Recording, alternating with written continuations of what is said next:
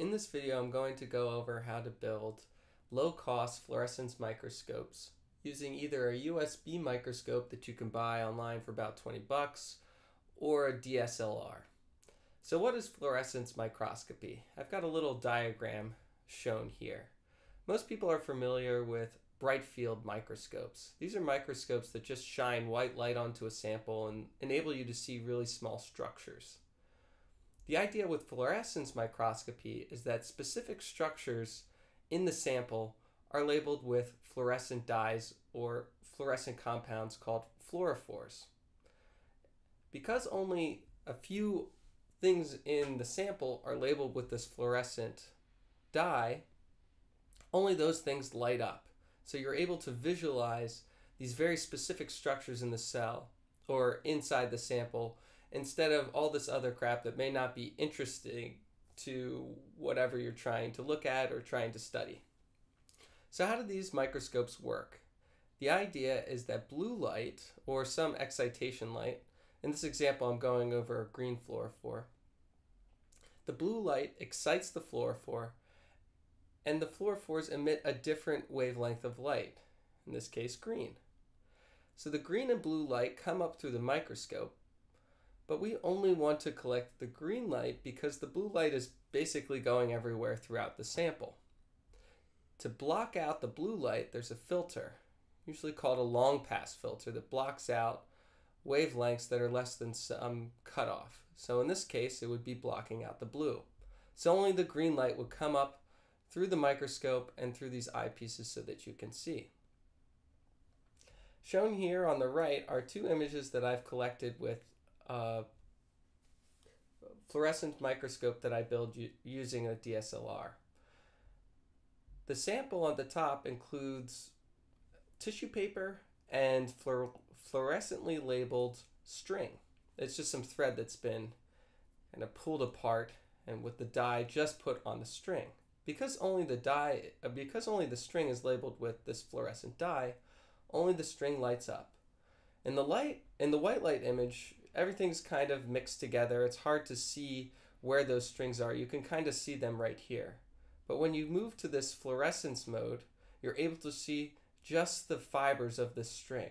And you create this really cool looking fluorescent image. Now I'm going to go over the operation of the USB microscope version of this fluorescence microscope. This is my fully constructed fluorescence microscope. Here's the USB microscope.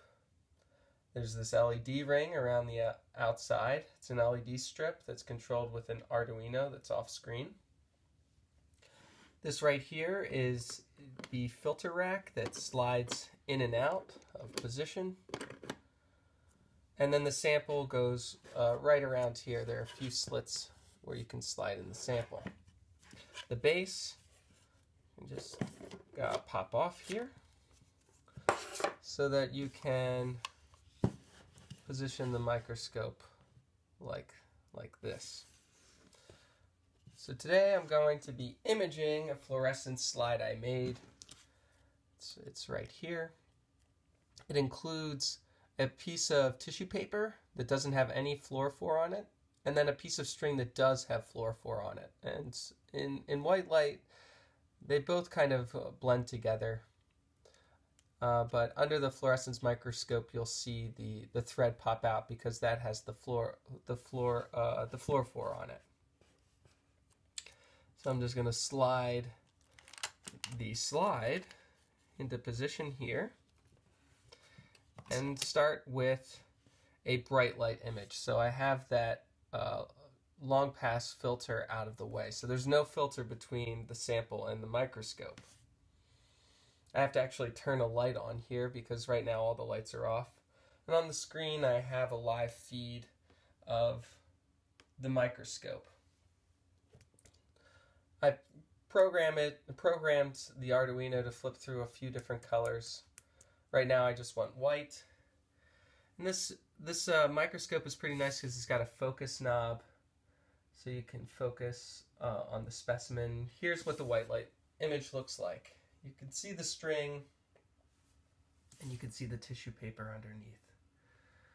Um, but what if you were just interested in, in the string? This is the idea of fluorescence microscopy. And right now I've labeled that, that string with the, the fluorophore. It's fluorescein that absorbs blue light and emits green. So to switch to the fluorescence microscope, what you need to do is switch to the excitation light, which is blue. And right now, the whole sample is blue um, because blue light is coming in and blue light's going everywhere, including on the string and then bounce and the tissue paper and bouncing up to the microscope. So we, we see just a lot of blue and the thread doesn't pop out. But if we use this long pass filter, we can block the blue light and just let the green light pass through. oh, and I lost the microscope. And so it's a picture of me. Uh-oh. I'm going to have to start this over. I think it doesn't know what to do with the, the big change in uh, light intensity. So let's go to Digital Viewer. That's the program I'm using here. Oh, I didn't plug it in. That would help. I wonder if I can switch Nope. I'm gonna just restart it. Uh, not QuickTime. What's the thing? Digital viewer. Okay, we're back to the live stream, and it, tries to auto-correct, and you can see that the thread is really bright. So you need to go into the settings, advance, and just lower the brightness, and you can see the thread uh, pop out. You can also increase the contrast to, to help uh, help the image a little bit here. Now you can see that the tissue paper has dropped out of the image. It's just this black background green and only the thread that's been labeled with the fluorophore is, is popping out here. And we need to lower the brightness a little bit more. Again, to remind you, if, if you don't have that long pass filter in here, uh, then what happens is all the all the blue light can make it through Let's go back to default settings. Um, and and now the fluorescence microscope isn't as effective as before. You can try to uh, save the image and then just look at the green channel, but those the green channel for an RGB image is, is pretty wide. Um, so you you may still have some some blue light in there. The long pass filter works uh, really well. All right. So that's the project. I have a full write-up of how to build one of these things along with a few other models, including a DSLR microscope. And that, that, that one is more expensive, but it's, it works very well, and there's some really high resolution images that I have uh, in the Instructable. All right, thank you for watching.